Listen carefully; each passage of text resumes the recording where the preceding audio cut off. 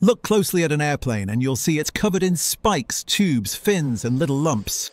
They look random, but every single one has a purpose, often learned the hard way through aviation history. Today on Fact Drop 5, five of the strangest things sticking out of airplanes and why engineers put them there. Number 1. Static wicks. Those slender black sticks you see trailing off the wings and tailplanes, they're static discharge wicks. Made from conductive composites and carbon fibres, they bleed off thousands of volts of static electricity safely into the atmosphere. Without them, radiostatic would overwhelm communications. While static wicks don't stop lightning, they help dissipate the residual charge after a strike. Airliners get struck by lightning fairly often, about once per year per aircraft on average. Despite how dramatic it sounds, lightning strikes almost never cause accidents. Aircraft are designed with conductive skin and bonding systems so the current flows safely across the fuselage and exits, usually at wingtips or tail, without harming passengers or systems. Most strikes only leave minor scorch marks.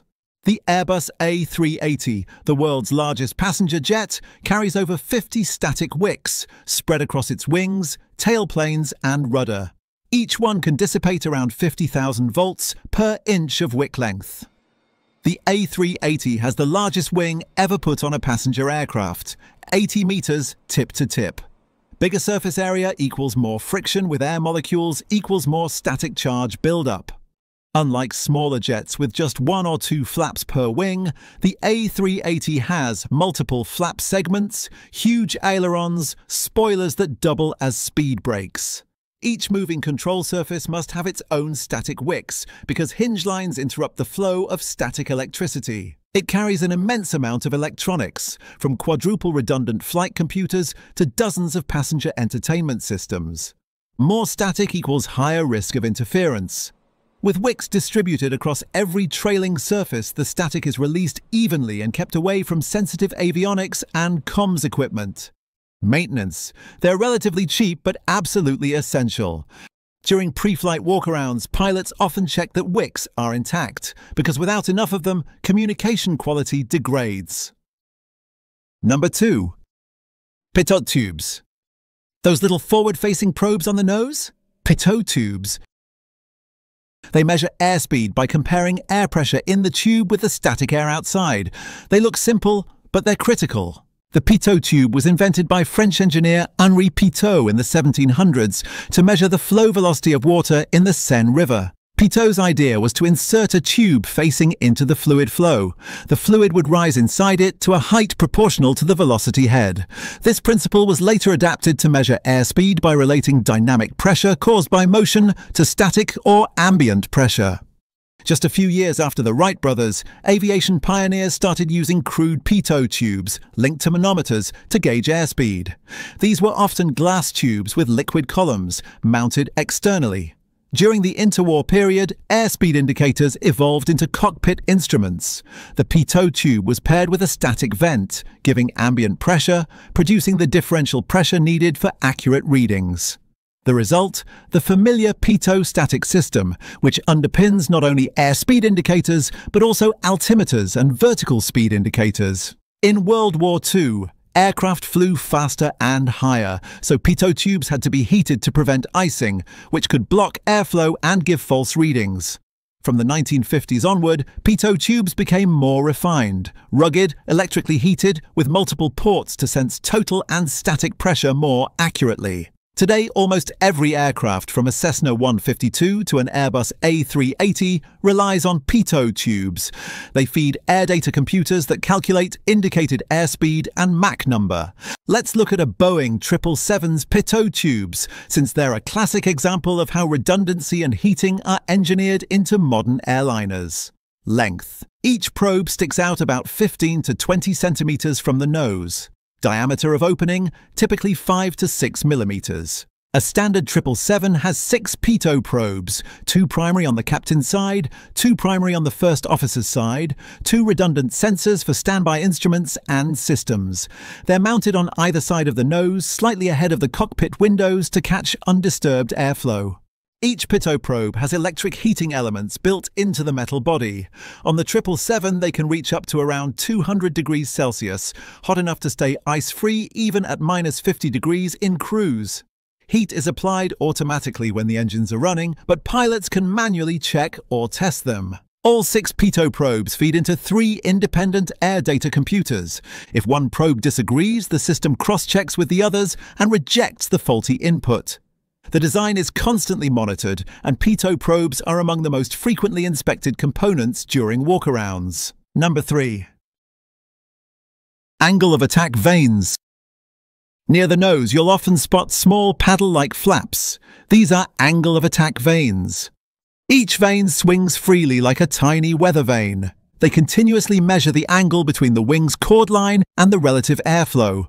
That data is fed into the Air Data Inertial Reference Units, ADIRUS, and the flight control computers, which then trigger stall warnings, adjust fly-by-wire protections like alpha floor protection, help the aircraft calculate safe climb, descent and landing profiles. The very first production aircraft to feature an AOA vane was the Boeing B-17 Flying Fortress in the 1930s as part of its stall warning system. Since then, every major jet from Embraers to Airbus A320s carries several, often electrically heated to prevent freezing. The A380 has eight AOA vanes in total.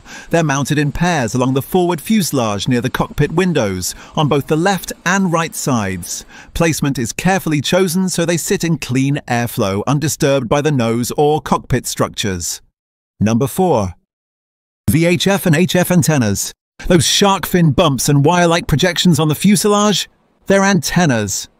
The very first aircraft with a VHF antenna was the Douglas DC-3 in the late 1930s, when aviation shifted from AM to FM radio. For long-range HF, early jets like the Boeing 707 and the Douglas DC-8 carried trailing wire antennas that literally unspooled from the fuselage like fishing lines. Today, modern aircraft like the Airbus A350 carry blade-style VHF antennas under the fuselage and large fairings on top for satellite internet. Without them, aircraft couldn't talk to ATC across continents, oceans, or polar routes. The A380 is packed with antennas due to its size, range, and passenger systems. VHF antennas for short-range ATC comms, around 8, spread under the belly and on top. HF antennas, long-range comms, 2, 1 dorsal, 1 ventral. GPS antennas, 4, mounted on top of the fuselage. Weather radar antenna, 1, large dish in the nose radome. DME, distance measuring equipment, 2 to 4. TCAS, traffic collision avoidance system, 2, top and bottom of fuselage. Marker beacon antennas, 2, usually on the belly. SATCOM or Wi-Fi domes, at least 2 large fairings, the big humps on top. ELT, Emergency Locator Transmitter, 1 to 2 small whip antennas. Total around 25 to 30 antennas on a typical A380. The A380 is huge, 73 metres long, 24 metres tall, and with a wing wider than a football field. On smaller jets, A320, 737, two GPS antennas on top of the fuselage are enough because the sky is always visible. On the A380, parts of the aircraft itself can block satellite signals, especially the massive tail fin. Multiple antennas, front and rear fuselage prevent blind spots. Number 5. Drain masts. Look under the belly of an Airbus A320 or a Boeing 777 and you'll spot small tube-like projections called drain masts. They don't look like much, but they quietly handle one of aviation's less glamorous problems, where to put all the liquid waste an aircraft generates. Aircraft constantly produce condensation from air conditioning packs, moisture from galleys and lavatories, and even trace amounts of fuel from engine systems. If these fluids were simply allowed to seep out randomly, they could streak along the fuselage, freeze at altitude, or corrode sensitive surfaces. Drain masts solve this by channeling liquid to specific outlets and ejecting it cleanly into the slipstream where it disperses harmlessly.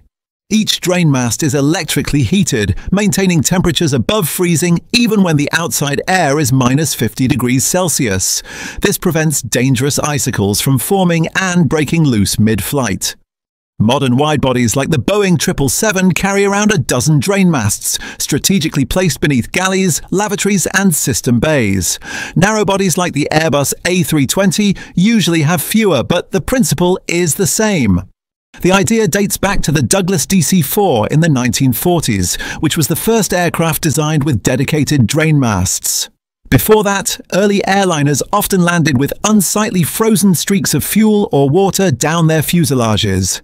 By concentrating the outflow through heated masts, engineers made aircraft cleaner, safer and less prone to corrosion. Dimensions of drain masts. Length, typically 15 to 30 centimetres projecting from the fuselage. Diameter, about 3 to 5 centimetres, tapering at the outlet for smooth airflow. Heating. Internal electric elements keep the mast between 20 to 50 degrees Celsius to prevent ice accretion, even when outside air is minus 50 degrees Celsius at cruise. They're fairly small, at about the size of a large marker or short flashlight, but are carefully faired so they don't create excess drag. Boeing 737, NG or MAX, typically has 6 to 8 drain masts depending on configuration. Boeing 777 has roughly 10 to 12 drain masts spread under the belly, galley bays and near the APU area. Airbus A380, the heavyweight champion, carries 20 to 25 drain masts distributed along its double-deck fuselage. These handle multiple galleys and lavatories across two decks, as well as extra air conditioning and fuel venting systems. Why so many on bigger jets? More passengers equals more galleys and lavatories. Each one needs its own overboard drain outlet. Bigger systems equals more condensation. Large jets like the A380 or 777 generate a surprising amount of moisture from pressurization and air conditioning packs. Redundancy. Multiple smaller masts are safer than one or two large drains because flow is distributed and less prone to clogging or icing. So the next time you see a plane bristling with odd spikes and tubes, remember, each one is there because of decades of engineering, safety and lessons learned from history. Which one surprised you most? Let us know in the comments and hit subscribe for more sharp, surprising drops of knowledge here on Fact Drop 5.